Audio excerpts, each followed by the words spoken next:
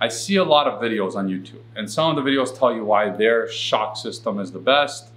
Um, and some of the videos go into super technical analysis on these shock systems.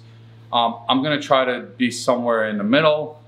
If I tell you something's the best, I'm lying because nothing is the best. Nothing will work the best for everybody, right? Um, every application is different. And I'm not gonna get the technical stuff. I'll try to put this more in layman's terms. And hopefully this is gonna be a little bit different than most of the videos you watched and helps you answer any questions because I get these questions a lot.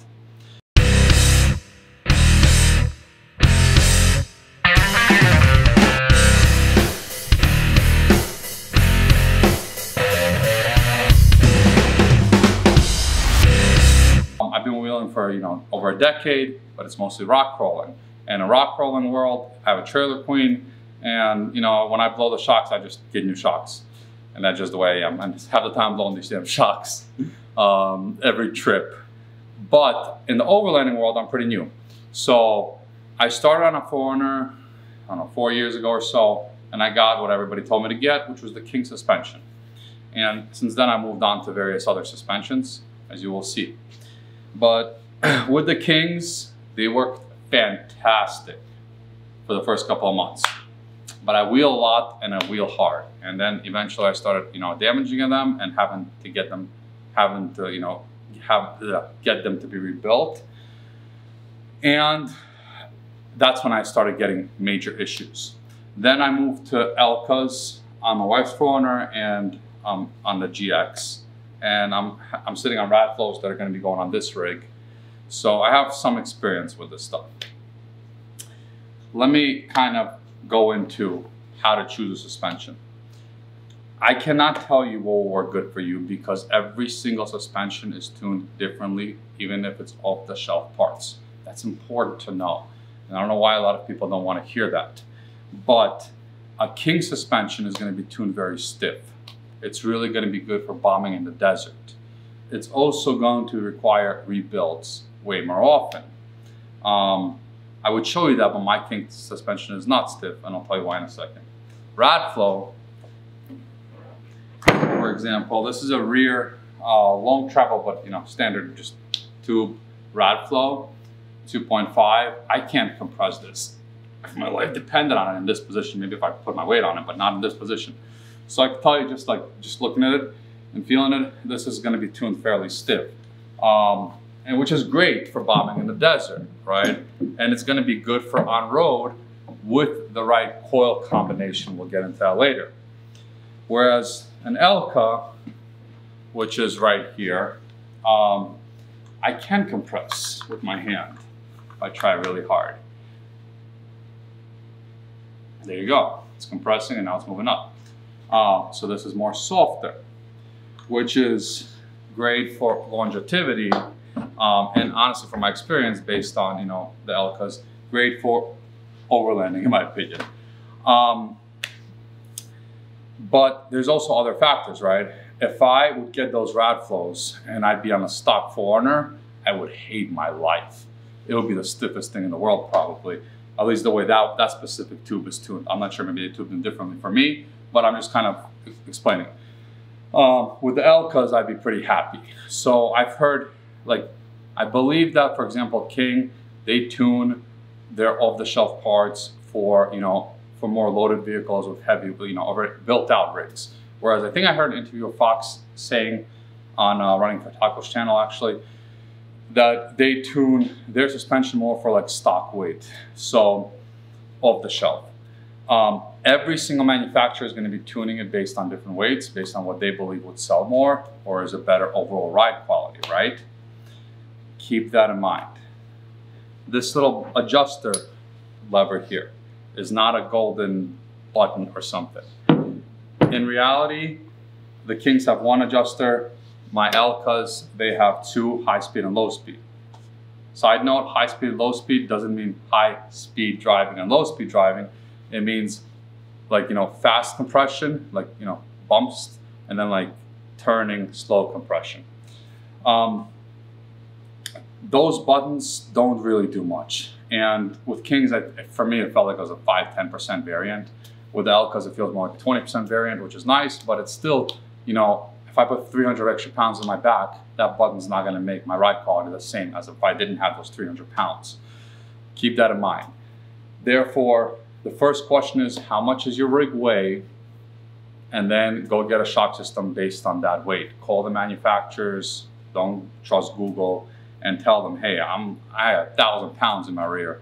Is your shock system good for me off the shelf or not? And they'll be honest with you. That's the first thing.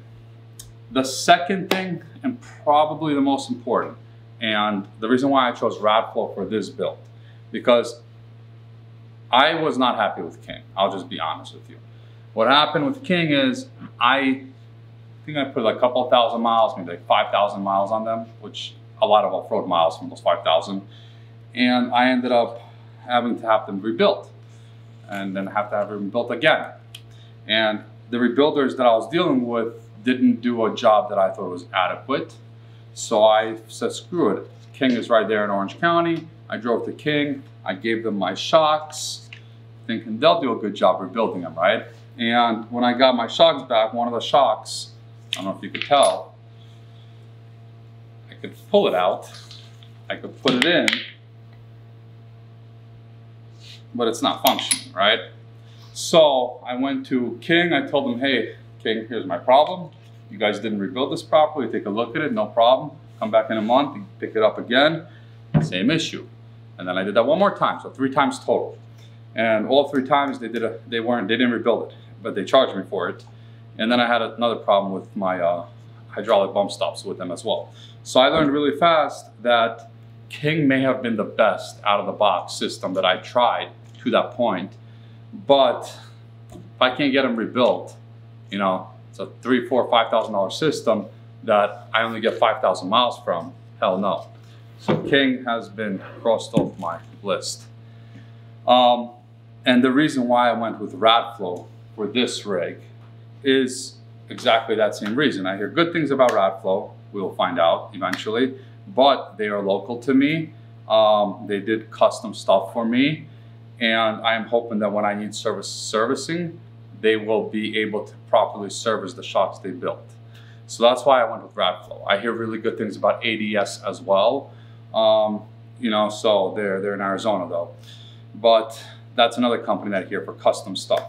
I went with Elka's because a I loved the ride quality. I do not know why it just it worked. Um, even though it's not built for you know high speed or whatever, it just worked perfect. Number two is based on the way they build their shock. It's made for you know longer time frames between serviceability. That's because it's a little softer, right? Um, it's more spring dependent, which is fine with me for that application. The whole point of that whole story was the second reason, the first thing is weight. The second thing, how you choose your, your shock systems. These are all shocks that are going to need to re be rebuilt. You don't want to be buying new shocks every 10,000 miles. F go with a system that is easy for you to get rebuilt. So that means that find somebody that either a rebuilder that's local or a company that is extremely reputable on rebuilding when you ship them in. I'm not sure who is right now, but find somebody that your local that a local builder that would recommend a shock that they are happy working on, and that's who I'd go with, honestly. Um, I used to have a local builder, retired, but when he told me to go get whatever shock system, I just went blindfolded because as long as he's happy working on them, I'm happy to buy whatever brand and he can custom tune them for me to do whatever I want anyways. So there are other brands we're not discussing here, like Bilsteins, I hear good things. Icon, Icon, um, who else? Fox, sometimes hear good things. Um, and that's because I don't have experience with those. Some of those may be better um, off the shelf, some of them may be worse off the shelf based on the way your vehicle and application. But I'm just, like I said, unless my local builder tells me to go Icon, I'm not touching Icon because I don't know how they're going to be when it comes to serviceability. They may be great. I'm not saying anything. I just don't know. So the next question I get a lot is what shock should, what shock should I get? Triple bypasses, quadruple bypasses, um, seven sets of 3.5s in the rear, and I'll address that right now. On my wife, Vice 4Runner and the GX, which I wheel pretty hard. I mean, don't get me wrong, I wheel, they wheel, but I wheel too. Um, I'll go 50 in the desert on them all day long. I have standard 2.5s with you know Elkas with an adjustable reservoir, two two sets of adjustability, and I'm happy with them. I wouldn't even want to go harder, you know, more and more advanced. For this rig, this is the front coilover. Well, it has eight inches of travel, and try not to beat it up and this is the secondary front, which is a second, which is another 2.5 with eight inches of travel. So two fronts, uh, two shocks for the front, and that's a triple bypass as well.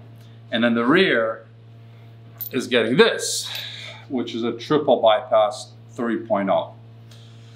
Why? Because on this specific rig, I plan on going 50 in the desert for, you know, sometimes six hours nonstop. That's why. So the, the size of your shocks, really the 3.0, 3.5s, whatever, really that's just to keep more oil in there so you can go faster longer without getting them hot. Um, most people aren't going that fast. And even on my wife's rig, if I'm bombing through a desert at 60 miles an hour, I'm doing it for a minute or two and then I'm calming the hell down again. So you don't need anything bigger than a 2.5. Most people don't. The triple bypass blah, blah, blah is just other options for adjustability which I'm not trying to fine tune my wife's rig every single time because then I'm going to be spending, my head's going to explode from that much adjustability. You really don't need it. Um, if you tune your rig properly and just get it done once from the start, get it perfect on the street, get it a little bit, a little bit stiff on the street. So therefore it's really um, good off-road and high-speed desert if you want, if that's what you're going for, or a little bit soft on the street and it'll be good for slow-speed desert and rock crawling. And that's pretty much it. And don't touch anything, that's what I do. Um, but to get that dialed in right isn't only the shock. And that's what people tend to forget for some reason. It's also the coil, which is different for every application.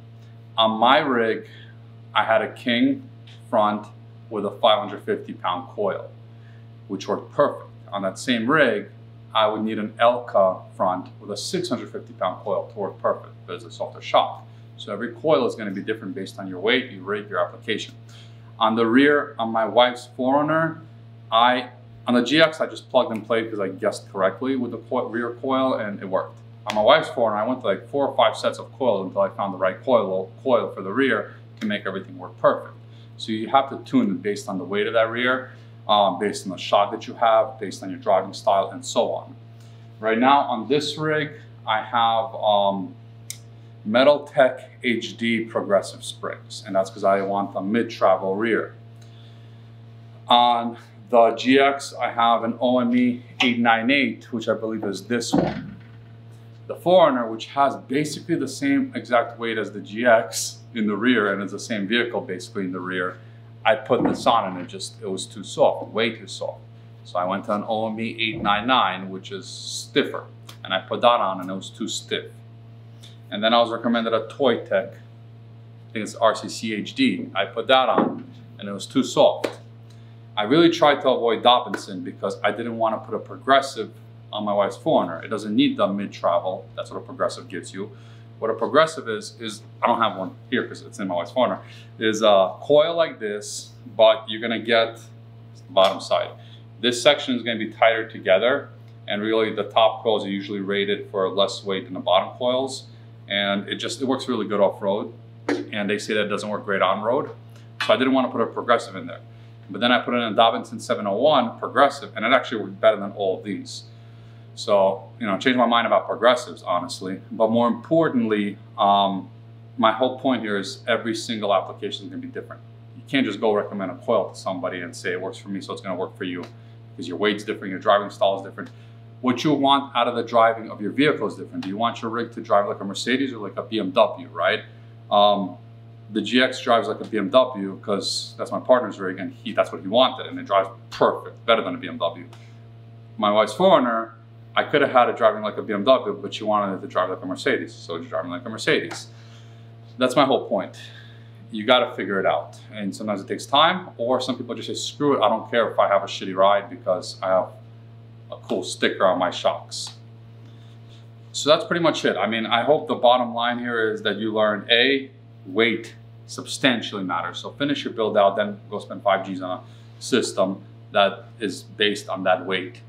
B, serviceability is extremely important. So make sure you go with a company that is going to be good at servicing your shocks and preferably somebody local, like a local, you know, shock guy that can service your shocks. Go with whatever he recommends, maybe. And C, this is going to take a little more time and effort than just buying off the shelf plugs based on what's recommended on Facebook. Or go buy off the shelf system, what's recommended on Facebook, and uh, you know you might be happy with your ride, you might not, but you may never know the difference. So who cares? Um, the other option, and which is the option that I would strongly recommend if you have the time to do it, is you go to a company like AccuTune. There's probably others out there, but AccuTune is the one that I can recommend because I've used them.